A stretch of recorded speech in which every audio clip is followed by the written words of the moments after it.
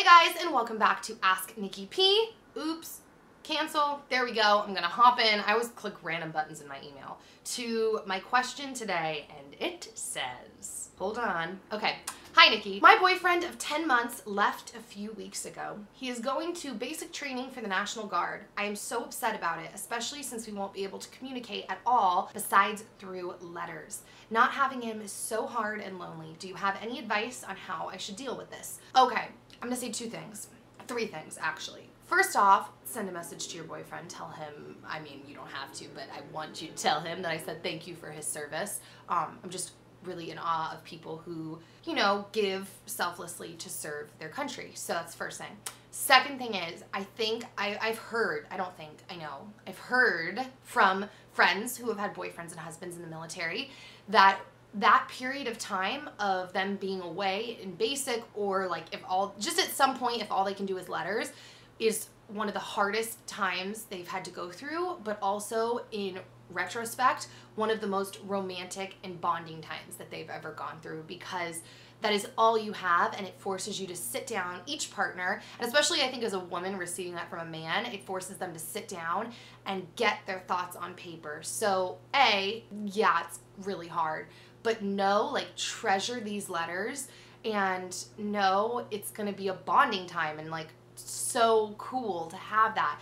The third thing I will say is I have a friend, her name is Caty, she lives in Vegas, and her husband Blake, um, he is in the Air Force and she has done a ton of videos about being married to someone in the military and she talks about all of the emotional stuff that goes through it. So her channel is um, youtube.com slash Caty135 and it's Caty like in the movie Mean Girls, C-A-T-Y 135. So you should definitely check her out because like I said, she's just done a bunch of military videos and she has firsthand experience. So I can just, you know, talk about it from the sidelines, but this is nothing that I've actually dealt with.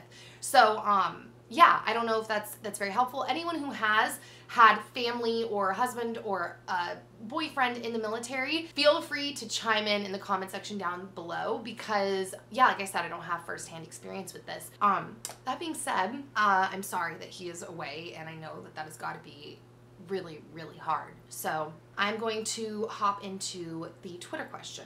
Hop right in. I don't know why I always say that. Okay, it says, how fast did you and Dan fall in love? Ooh, fast I think is really um very relative. Some people might say super fast. Uh, I don't, I don't, no, I don't really know how to answer that because I met Dan in high school. I've told this story before, and when I saw him, I wouldn't call it love. I just experienced uh, like a feeling in my body that I hadn't ever experienced when I saw or spoke with any other human being ever. It was the weirdest feeling, and I couldn't put like a title or a word on the feeling. It just was a completely different feeling and he didn't even like recognize me the first like four or five times we met. And then when he finally did he like he claims he saw me and he when he like saw me for the first time like really recognized me he claims that he was like i could marry that girl. I don't know. So um we had hung out for about a month when we were dating or hanging out as friends before he asked me out. And i was honestly so shocked when he asked me out because I thought he didn't like me. I just was like, I really like this guy as like a friend. Like we were hanging out all the time, but I was like, I can't go there because he doesn't like me like that.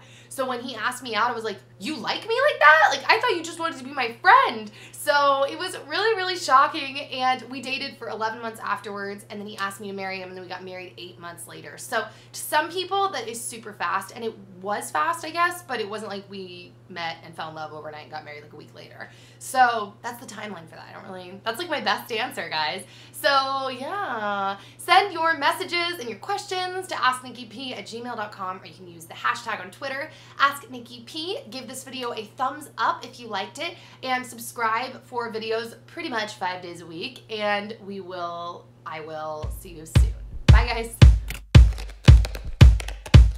guys.